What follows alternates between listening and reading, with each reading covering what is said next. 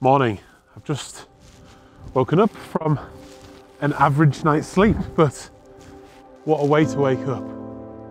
Absolutely beautiful scenes here.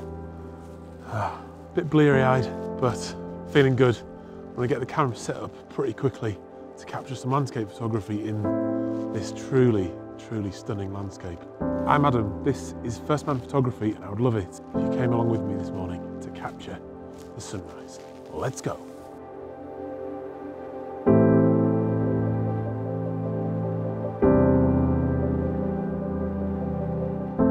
Wow, I mean, what a morning. I'm set up for my first shot of the day. It's brutally windy, but the sun is just starting to come up, as you can hopefully see on the screen now. That's pretty much the composition I'm going for for the first shot. Just that line of mountains, capturing the mist, capturing the sun as it's coming up above the horizon, and it's just looking incredible. It's just gonna add to the story of what I've done here, of wild camping at 900 meters. Settings wise, I am at f8 because everything I'm shooting is right in the distance. I want to maximize the sharpness of the lens. I'm at ISO I'm at ISO 1000 and the reason for that is because of this brutal wind because with this 70-200 on here in this wind it's blowing about quite a lot so I need to up the shutter speed to one 200th of a second to freeze that so there's no movement and blur in the image. Let's have a look. Yeah, a bit of flare down in the shadow area. I think I'm going to go for a square crop anyway, so I can remove that flare really rather easily. And it'll just be a really simple, straight up sunrise shot with the sun in the image as well. So I'm happy with that as my first shot of the day. I don't care about the wind. It's just, look at it. It's just absolutely an incredible place to wake up. Landscape photography and wild camping, it doesn't come much better. They are married. They are married and it just works so, so well.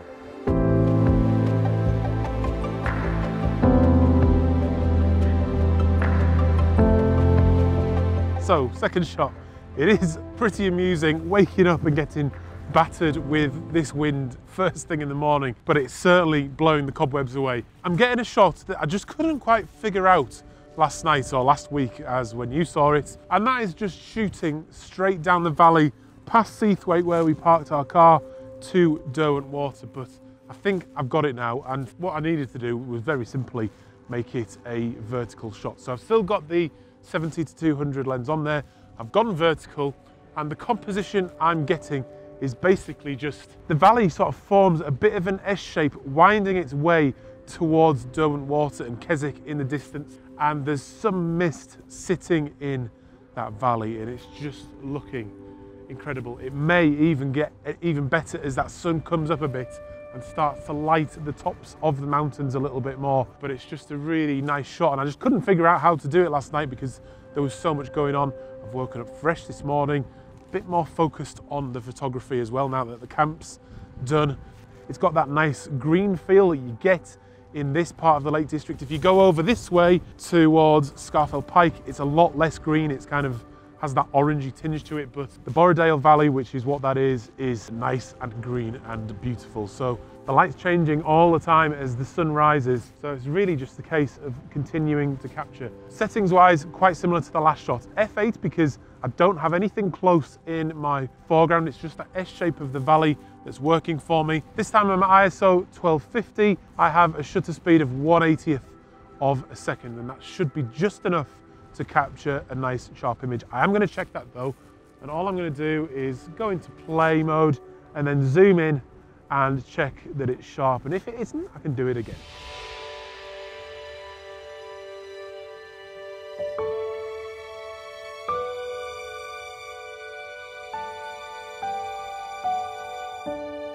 So the sun's up quite nicely now and look at the light on the mountain there. Just, just phenomenal. What I am trying to do now is just capture this whole scene as a panorama and I think it could end up being one of the best panoramas I have ever captured. So to do that, what I've done is got the tripod leveled off on this particularly rocky ground. You've got to have your tripod level if you're going to do a panorama using the tripod. I'm going to do two. I'm going to do one on the tripod and then I'm going to do one handheld.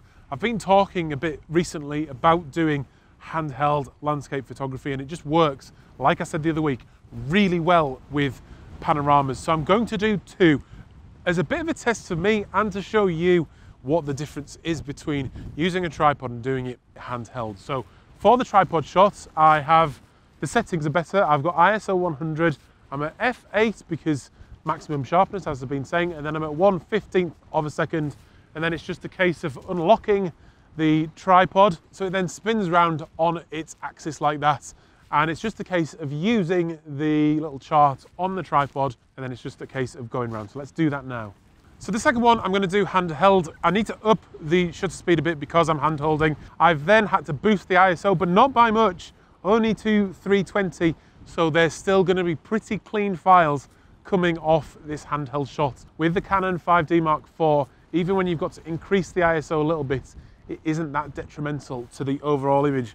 Although this is a panorama that I want to get right because the conditions are just so beautiful. Yeah, right, let's do that now. I'm gonna have to put the camera down. Okay, let's move the tripod out of, out of the way. And then, as I've done before, you wanna plant your feet up firm in the, probably in the end position, and then just tilt at your hips and twist round and then start shooting. I can see Gary Gough down there who is still with me today and then just let your hips bring you back around to the starting position. My goodness, the light on these mountains now is just, just incredible. What a morning. What a great way to wake up and start your day. Such a strong feeling well-being. Ah, yes, ah!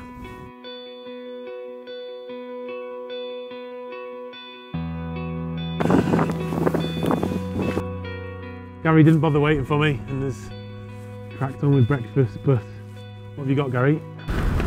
Beans and sausages, you can't beat it. Not quite as good as your all-day breakfast, I have to admit, but uh, ah, piping hot.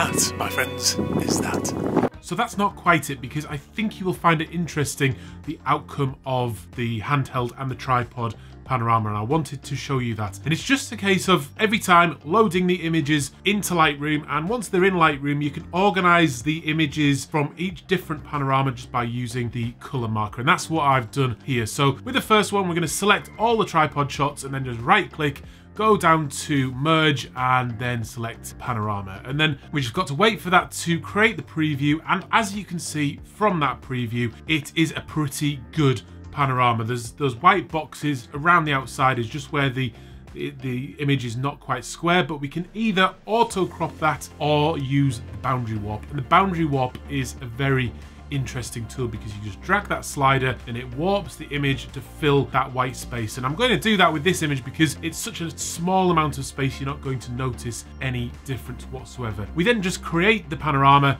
and wait for that to finish. So that's that one done. Now we go into the second file, in the handheld file, and merge all those photos in exactly the same way. And then we just wait for that preview to open up. And as you can see with this one, I haven't been very good with the way I've created this. I'm normally much better than this, but we can still make something from this image and I think you'll be surprised by this. So we can either auto crop and then that just makes it a much thinner longer image which is not particularly what I want or we can go all the way up on the boundary warp and fill those corners in. Now this is going to warp it a bit too much in this case, I think. So what I'm going to do is do about 50% boundary warp and then 50% auto crop. And then I'm going to create that panorama and we'll compare the two. So these are now the final edited images. This one is from the tripod and this one is the handheld shot and I think they are barely any different. There is a slight difference, but if I showed you each one in isolation,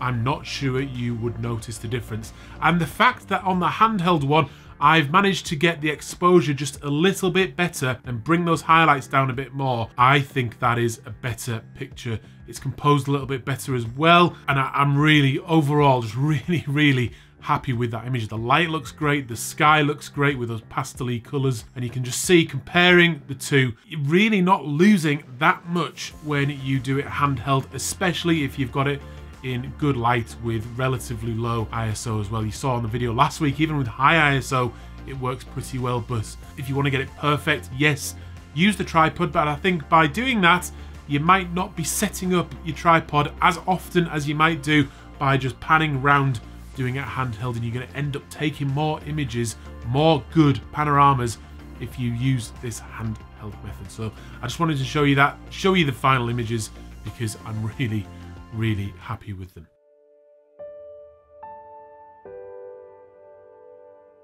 Coming up, I've just put up a new series of landscape photography workshops. If you go to firstmanphotography.com slash workshops, check them out and I'd love to have you along. So I hope you've enjoyed this series of, of, videos. They've been great to make. I've had great fun with Gary as well. Check his channel out and please do share the video because that helps me more so than anything else. I will see you again on Wednesday. I'm going to try and put two videos out as much as possible now. I've got one ready for Wednesday. So I'll see you on another one very, very soon. I'm Adam. This is First Man Photography.